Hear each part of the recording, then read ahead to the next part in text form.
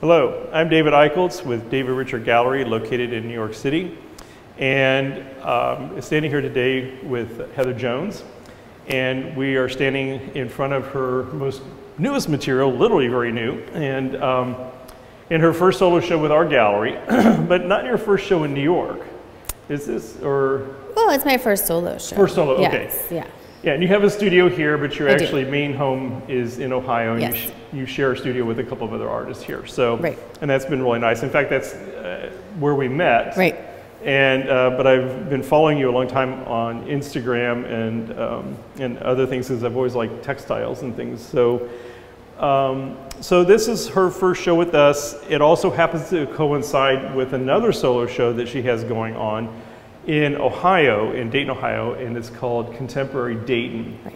And um, what, why don't you give the little bit of backdrop about that? Because you've got like the f- main stage, but there's three different solo shows. Right. Yeah, there are three concurrent solo exhibitions. Um, I do have the largest space, but I am um, showing and paired with the work of Odili Donald Odita, who creates beautiful geometric abstraction. Um, he, he and his team came in and did a site-specific mural for the gallery. Um, and then there is a video component, and the video is by Jeffrey Gibson. Um, and the video is called To Feel Myself Beloved on the Earth. So it's this really interesting, to me, this interesting dynamic of the work of the three of us. Um, you know, they're all geometric abstractions. They all, I think, deal with our sort of cultural identity and our history. So um, I think I'm, I'm really excited to be paired with these two artists who happen to be two of my favorites as well. Oh, good. Okay. Yeah, so yeah. You've known uh, and, and Not personally, but yes, Oh, uh, knew of his work. Yeah, yes, and I did have the chance to meet him uh, last month. But Oh, yeah. that's nice. Yeah, it was great. And so that kind of gets into something kind of important about your work, is uh, which is why I wanted you to tee that up. Um, you, you you were born and raised in Cincinnati, Yeah. right, in Ohio, I was born in Dayton, grew up in Cincinnati, but yes, Okay. close enough. and um, but your family's from Kentucky originally, right? Just Yeah, across a- the river. A large section of my family is from eastern Kentucky, so about um, hour and a half or so south of Cincinnati. Okay. Yep. Okay, because in your writing, you do mention um, that Appalachia is is a key a component of your work. It's Right. an influence. Right. And uh, but what's also very interesting is um, the you, you your work. So that in case people just don't know about Heather, she only works with textiles, and these are paintings, and she considers them paintings. They are stretched on stretcher bars, but they were all made of cotton fabric that's already printed. You know, it's already been dyed or Exactly. printed or whatever methodology it was made. And um, so it still has the sizing or whatever the process Yeah. you know, materials are that they use. And so the sheens are as they are, and they vary a little bit. Mm-hmm. They do, But yeah. most of yours are kind of matte to flat, but there Yeah. are some that have a sheen. And so uh, what she does is essentially her paint becomes then these slices, wedges, triangles, squares, or whatever she decides to cut out, and, uh, and then and sewn together. So they read graphic and flat, Yep. and um, but at the same time, because they're sewn and they're hand done, um, there there are just some things where sometimes the, there may be, although this one has very little wavering of the lines. This is pretty pretty sharp. But um, there's a couple things going on in this one that I wanted to point out though. One is so everything doesn't always perfectly line up, but yet you know the intention and you read it as hard edge and geometric, and you read these as sort of uh, classical sort of optical art to some extent. Yeah. Um, but the thing that's operating interestingly here, and you pointed this out to me, I don't know, a year or two ago when we met in your studio, because you just started doing this. You used to fuss a lot about your, when you, when you would sew fabric together, for those of you who don't know, and I'm sure most of you do know, but you bring two pieces together, but you have to fold them down so that you can kind of sew and, and have uh, an, an edge. So you have to have something you're holding onto on the other side of the, the, the thread and the bobbin. And um, and then you open it up and pull it straight. Well, you used to then, I guess, trim those down or get it so they weren't hiding, but this time now, you, you've, in, in a lot of these, you so you, you press them, I guess, so that they Yeah. stayed, so that you can see the, if you will, it's not really a true selvage edge, but it sort of is like a It's selvage like edge. this, the seam allowance, you know, it's Yeah. where the seam that is constructed. Yeah, I mean, I, um, But you can see it through. Exactly. And I do that on purpose because to me, those become elements of um, transparency, you know, of sort of linear qualities. I feel like some of the strings that you can sometimes see, they're almost like little drawings. So, you know, even though I'm not working with traditional painting materials such as, you know, oil paint or acrylic, I'm really thinking of this in a painterly fashion. And I do have experience painting with real paint. Um, I just choose not to these days, but I still like to think about those things as I'm working. So think about those, you know, elements that are so inherent to traditional art, traditional painting materials. Um, and I try to explore and push those in these works. And that's a good point. So she is trained formally and, and well educated in art and art history. And so, um, but as she said, because of her background and just interest, her interest in her work, which we're getting to, um, she just chose to use this as essentially an alternative painting material. Right. But what's interesting about it too is it, um, the reason why I was kind of showing these things is not always being perfectly Right. squared up or having this, this sort of, what would you call it this, uh, the allowance, um, The seam allowance. seam allowance? Yeah, yeah. Revealed. Essentially, Right. you're letting the process be revealed. You're not trying to hide it. Exactly. And the other thing too is because of these sort of the fact that you're dealing with this, this fabric and it, it exists in a certain shape and dimension and there's it's not always perfect you know although you're very good at doing this and you've been doing it long enough but you're quite good at obviously at sewing to get this pretty darn close and many of them do touch in or perfect like you know, this and here are like you know perfect but What's interesting though is it, they become like process paintings, Right. Because some of it is a little out of control, out of your control, 100%. Right. And so therefore, there's always a little bit of a hmm, you know, and sometimes it could be a, like a hmm, or it's like hmm, right. No, for sure. Right. Because Yeah. I never thought about that. Sorry, until these I've been you know living with them now for a week, looking Right, at them right, on the right. wall. Yeah, I mean that's a good point too because the and I don't I mean you know these are obviously influenced by quilt making and we talked a little bit about that as well. You know, Right. both quilts that my family members made, but also you know quilts of Gee's Bend, um, unknown artists, primarily American women who you know have been working for hundreds of years on similar work. And my favorite parts are those are always the imperfections where they're not Yeah. quite right, where maybe she ran out of this fabric and she had to substitute whatever she had on hand. So I purposely don't measure precisely so that I don't have that. It's that it's not perfect. I'm really It's sort of like aw-brush and rug weaving, Yeah, where you, the exactly. dye lot changes, and, Right. and you still got to keep making just it gotta keep making, it's right. just a little different blue exactly now. right. So I love the those little collectors love that sort of stuff. Well, good. I mean, to me, like those, um, you know, so you're right. I have an idea of what it's going to look like, but because of the nature of the way this fabric behaves, you know, it's much Mm-hmm. thinner than a canvas. It's a, um, you know, it could be used for garments, it could be used for drapery. Um, this fabric that I use, but because of its thinness, when the, the fabric is pulled taut over the Yeah. wooden panel, things shift a little bit. Exactly. And that's what you were talking about. You know, I don't quite know exactly what's going to happen. There's a little bit of stretch if it's cut on the bias, which is like, Exactly. you And know, against the grain. cattywampus, Right. It gets a little cattywampus. And Yeah. I love those bits because, again, it's just that to me, if they were so strict and geometrically perfect and everything lined up, I don't think I personally would find them as well, then there's no need to not avoid painting. You might as well just paint and exactly. use tape. Right. Yeah. Um, so those little elements of you know like where they don't quite line Well, up. because the yellow that you added, which by the way, uh, Yeah. when they were delivered, Yeah, yeah, it was a surprise I heard. commented, I'm like, whoa, I love that. Yeah, you know, and yeah. I'm not sure he, if he thought at first I liked it or didn't like it, but I love it. First of all, I love that color. Yes, But good. to me, it was just like the, it just set it off. Yeah. Because you would show me pictures before the Right. green had been added. Exactly And. I fell in love with it as soon as I saw Oh, it. Oh, good, yeah. But then when it arrived here, I was like, oh my God, that Yeah. just like finished it, you know? But again, it's, it's, um, you know, it, it's not exactly the same all the way around. No, Because these no, are no. basically, so people are not, so they're not confused.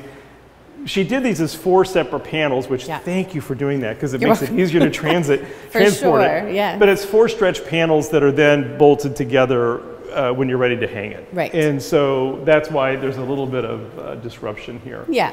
But we're spending the time on this because I think it helps set the stage for people so that when we talk about the other things, Yep. they're kind of like, ah, okay, now I understand the medium and I understand what this is all about. Right.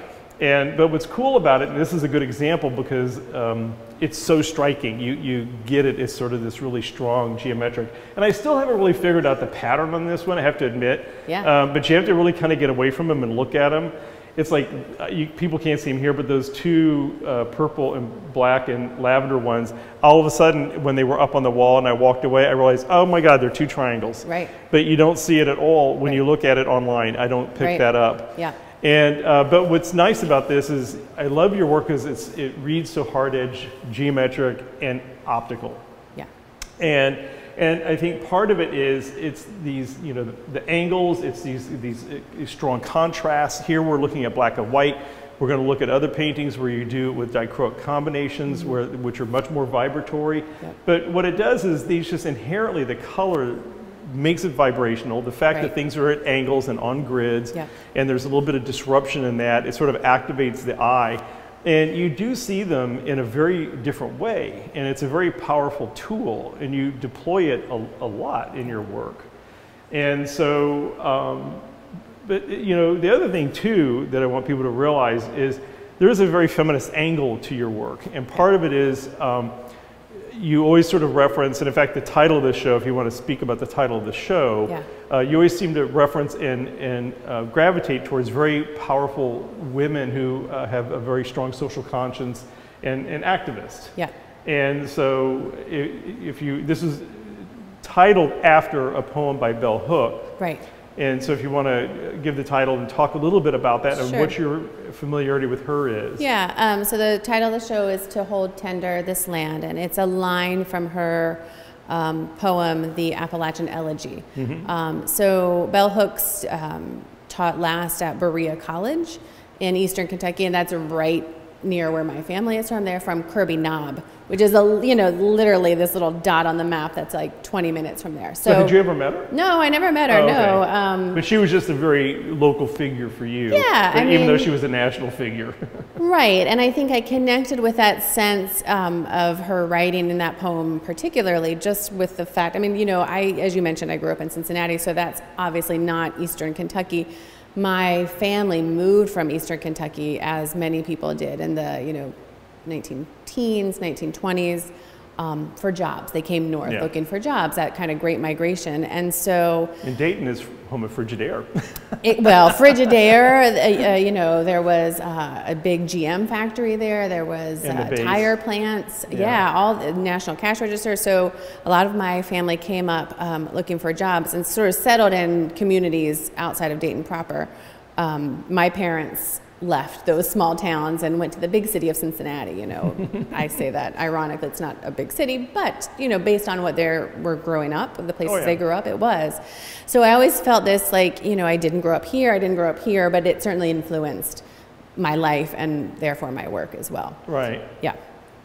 So I think now that you, people knows a little bit about that you're coming from a, a feminist angle, which is you know, and, and sewing and quilting is always sort of considered you know women's work, if Right. you will. Right. You know, coining a phrase from I think it was wasn't it Carolee Schneemann who coined that phrase initially, so, women's yeah. work, and um, you know, an early uh, feminist activist, Lauren Yeah. Judy Chicago, and, Yep. and other women.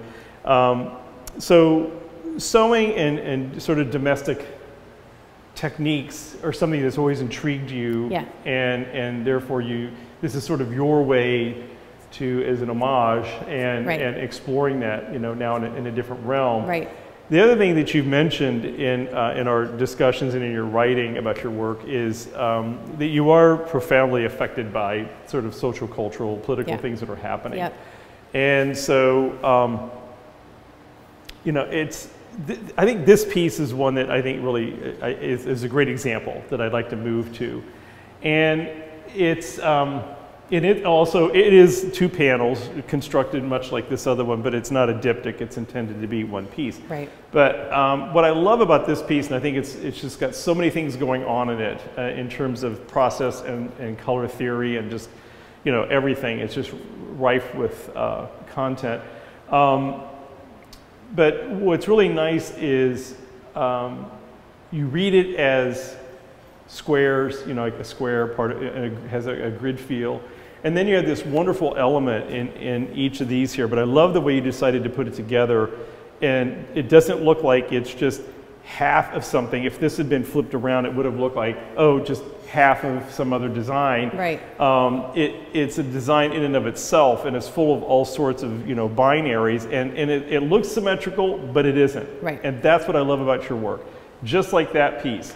It is not the black and white when we were looking at. It is not 100% symmetrical, Right. but you immediately look at it and you see symmetry. Right. And I think that's sort of the great thing about that. You and I'm just kind of curious, do you lay it out like a regular sort of pattern and then decide, "Mm, I'll do this, I'll do that, I'll do that, or is it more organic and it just does a pattern just always seem to spontaneously emerge out of your work? It's a little bit of both. Um, it is a little bit of both. Sometimes, and I often work in a sketchbook to sketch out ideas. Um, sometimes there's a pattern in those designs, sometimes there's not. Um, but because I work with fabric, I have this large wall section um, in my studio in Ohio where it's backed with flannel and like flannel pajamas, and the cotton can be just placed on the flannel and it sticks. So it allows me to play and lay out compositions. And so once I'm happy with kind of the overall visual element, then I start constructing it. Um, and that's when some hap- changes happen. That's when, you know, obviously some, you know, I can change my mind about things. I can cut it up. Um, you know, it's not like paint where you can repaint over a, a place and the composition if you're not happy with it, but I can certainly reuse the fabric in a different way. Um, so, you know, sometimes those, I would say, you know, visual choices um, happen during construction. This piece in particular was different. I didn't actually have it planned out this way. This was one of those sort of more, um, I thought it was going to come together different. I actually made a, uh, almost a study. There's a small piece in the show that relates to this in a way. I wondered if that was okay. Yeah, so this was going to be more of a different composition, but it just when I had it that way, just to me it was lacking something. There was I don't know, it felt too maybe regular and I love that idea, you know what you've talked about how they're like geometric but they're not perfect. So um, the nice thing about working sort of modularly is you can, you know, play with arrangements. I mean, it's almost like this Right. element of collage in my work as well, even though I'm not Yeah. collaging in the traditional sense, but you know, I can t- play and move things around. So that's sort of how this piece actually came to be. It was just to me when it was when they were, were arranged the other way and there were actually two more panels. It just it just felt too I think safe, too maybe expected. And so when I divided them into two separate pieces, um, so instead of four panels, there are two. And when I laid them out this way, I felt like it was just more, um, I think, visually interesting to me, maybe more active, you know, with the, originally the triangular components were in the center with this exterior like line work. Right. Um, but by separating them, I felt it made a stronger overall composition. Oh, I, I definitely agree, and it Yeah. makes it uh, just so much more dynamic because Yeah. um, you see these two things immediately that are similar, but then you see these two things, but yet they're, you know, because these now are like a flip, where these just almost look like you're transposing this way. Yeah. These, the purple, it, it's it's not, and then you're uh, so you're kind of trying to figure figure out what the hell, where the, how did that begin, you know? right. so you know, it's it's that's what I like about it. And but the other thing too is just these great dichroic combinations because you know the the orange and purple and and then also then you go with sort of classic complementary, the sort of the, the red and the green, Right. and then you bring in this one that's got this yellow. So it's Right. like you it's like you have this intuitive sense of um, because those are two different things operating in traditional painting. And so what's nice is it creates this um, this this vibration, this pulsing, which is you know what you know a lot of the op art artists were doing, which was these you know very vibrational combinations that when they get together, or they you see a, a third color. Right. You know you, you don't see uh, you know in yours you're, you you don't have too much of that because you have large swaths. You know, Right. if you break it down, then you get that that interaction, then you get the color mixing. But Right. here it's you have this these really strong, but everything's not not exactly the same size and, and everything. Right. And, and so it really activates your eye, and there's a lot of power of suggestion in that. And um, but there's also something very metaphorical going on, I think. Yeah. Because you know, um, as you said, you're the, the, the, you know, the polarities in, in politics right now, there seems to be so much of a divide socially, culturally, you know, in the country, if we talk about just in the US. Right. And, um, and so these sort of, in, in, knowing that that's sort of when you get up in the morning, you know, and you listen to the news and you go into your studio, this is what you react to. Right. And so um, what's interesting is, and the reason why I say sort of metaphorical is because these are, this one in particular makes me think of like a jagged edge mm-hmm. or teeth. Right. This is like, that one's a jagged edge, yeah. and this is like teeth, like gnawing, yeah. you know? And so what's interesting about this work is it operates to have a, um, create this power of suggestion, because you know, it, the gestalt in your mind just sees this as like, oh, these are, this is probably part of a big square, you know, and this is a fragment of it or whatever. So, you know, you got it. But then you start looking at it more closely, and, and what it is is this, the, it's not wonky, but there's a wonkiness about it that, yep. that pulls you in. Right. And that's how all of your paintings are. There's a hook. Yeah. You know, yeah. and you're like Katy Perry and this, you know, one line you can't get out of your head, you know, and it right. sucks you into her songs right. every time. Right, right. And so, uh, or a riff. And so uh, you're quite masterful at that. But it really works well because then you see this discord, you know, because like it, it's a square corner, you know, and I know you can do a 90 degree corner, but right. it's not quite. That's right, know? right. And so things, you know, like this is sherbet. I mean, this is like a sherbet, and this is a little bit more of a, you know, peach. But they operate sort of the same. Right. You know, and that's what I like. It's like it's not perfect, perfect. Right. It's not matchy, matchy. No. But you get it. Yeah. And, um, and I like this sort of discord because I, to me, in, in, like the essay I wrote, I, what it seemed like to me when I look at these is it, they're, they're balanced and there's an inter- there's a harmony mm-hmm. because you know color theory mm-hmm. and you and I think also you just have an intuitive an incredible intuitive sense of color which, which you thank have you. to have yeah, thank you. when you're dealing with something that's ready made you right. know you when you're scavenging and scanning and looking for things or even when you're in the studio and you're looking around going mm, I need something and you're like mm, there it is right, right, and you right. grab it which. I'm just assuming that's how you operate for sure yeah but um, what's interesting though is um, you know you get it. But then what's nice is in going back then and thinking about the, the discord in social discourse or what, political discourse, these then kind of operate that way. Right. There's a discord, you still get it, it still works, it's balanced, it's harmonic, but yet when you, upon closer inspection, you see it's not a perfect fit, it's not a perfect match, you know, and, and maybe there's a little, you know, anger or hostility here right. or something. Right. And maybe I'm reading too much into it. But I think this is a great example. Yeah. Um, and others to a lesser extent. But yet, I, have always noticed in your work uh, these key elements, and, and I think they serve you very well because it allows you to uh, use them beyond just an aesthetic. No, and I, I agree. And it, you know, speaking about the color and my choice of color, there you know there are limitations to working this way. You know, I'm. Oh yeah. This is all commercially dyed fabric. I don't mm-hmm. dye any of the fabric. It's commercially ready made. You know, so what the color is is what you get.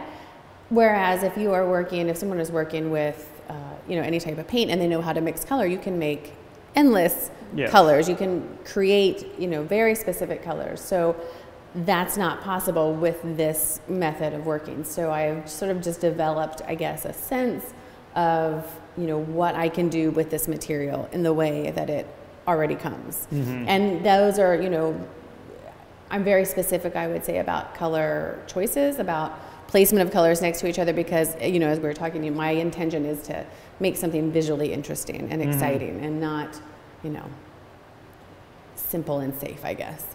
Yeah, and I mean, it's just full of all sorts of just great things, and I can definitely see how it grew out of that other uh, piece. Mm-hmm. Um, and as I kind of wondered if there was a kinship to mm-hmm. them. But this yellow that you, you picked up, yeah. and that sort of um, limey or sagey green with it, yeah. is what really uh, zings yeah. in, in, in that piece, I think. It's hard to photograph. Yes, it is. All this stuff is. Yeah, it is. Um, but I don't do it. That's why right. I have Yao That's do right. it. That's right. Because he, he knows how to manipulate all that yeah. stuff to make yeah, it yeah. behave. But this other one, that I, reason why I wanted to kind of walk down the line, because now this is to me, um, this piece is, to me, borders on slightly moody. And, um, and so it's, there's something about that shade of red, and I think it's because this cranberry is what does it. It neutralizes It everything, it right. pulls everything down, Right. because it brings in blue, I'm guessing. Right. And so um, there's just something about this, even though it has all those elements that we just talked about, Yeah. you know, the jagged edges and, and all of that. But here, um, there, there's a couple really interesting things here. The neutralization of these otherwise individually very vibrant colors, but because they're so, I don't know what the color term is, I'll have to think about it, but they're all very related in Like terms of what they, analogous, right? Analogous. yeah, they're very analogous. That's a good, yeah, that's the word. And so what you're using more here is you're breaking up and creating more pattern. Yeah. And there's more repetition of elements, which in many ways, because they are sort of in arrays and they're organized this way, they're not as jaw dropping or is somehow is, is agitating to the eye, not agitating, but activating the eye as much right. as that one. Right. So there's something going on here, and, and it actually imparts a moodiness, mm-hmm. I think. Yeah. This one just doesn't, even though red, you know, it And has red so is so much strong, chi, right? And so exactly, right. so much energy, Right. but it doesn't function that way. And I thought that's really interesting, and I thought, wow, you know, because this has all of the hallmarks of something that should otherwise be very optical, and it's not. Right. And I think it's, you know, like these, like I feel like this red and this red, they're just so sort of muted. Yeah. Um, and I think that sort of works to bring some of that energy down. Yeah, and I think that's just sort of astounding. And there's even the other thing I like going on here is this um, these horizon lines. Yeah. That for some reason here the line is more um, elemental or more more noticeable Yes. than almost in any of the other ones. I agree. Yeah. And Yeah. it's very interesting, and I think it's because of that uniformity and the neutralization of this general color palette that this little bit of this going, and I think that just really uh, adds a lot to it. Yeah. And I think know. even with all those strong verticals that are, you know, happening in, you know, terms of like the side edges, to me, it's these horizontal lines that are, uh, become much more powerful in the composition. And even though you may not, this may have been another one of these process things where it sort of ended up this way, but Yeah. looking at it post production, yeah. What it does is the generally this has a diagonal Right. flow, a bias flow, and this actually tends these lines tend that way, which Yeah, is they sort do. It's, yes, yeah, no, for sure, right. And then when I first finished it, I was like, I didn't. It, it bothered me, you know, because I wanted. I was, uh, you know, sort of picturing more, sort of actual horizontal lines, and then there was that shift. But it has certainly grown on me, and I actually think, again, it's like goes back to that idea of, you know, when is it too regular? When is it too uh, expected? And this this gradual shift unexpected, you know, sort of adds to the overall composition in a way that if it were more regular, it would not. It would yeah, I think this is a great piece. I really like it. Thank it's you. It, it, and oddly to use the word subtle in- Yeah, for your work. right. There is a subtlety about is, it. Yeah, I would say, especially compared to the other ones, for sure. And it's because it's it's not clearly not monochrome, but it's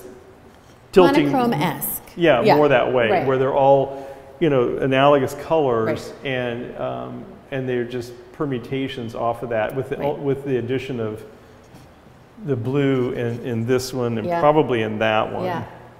And it's so fun too, you know, just this is the same color as this, but it looks different because it's paired next to two different colors. Exactly. You know? So there's that, that element of that intera- color interaction. interaction. Yes, I'm a huge fan of both Josef and Anni Albers as well. Yeah. Um, but yeah, the you know color, I'm a big color.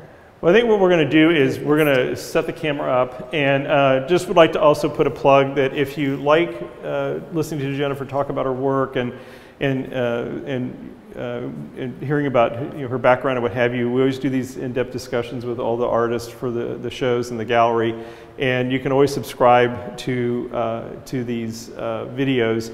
So um, it would be great if you subscribed, and you know there's always usually one or two a month being produced, and so they're always very helpful, especially for curators and critics, and also for collectors, because it's a way to hear the artist actually talking about the work themselves. Yep. So we'll be back in just a few minutes.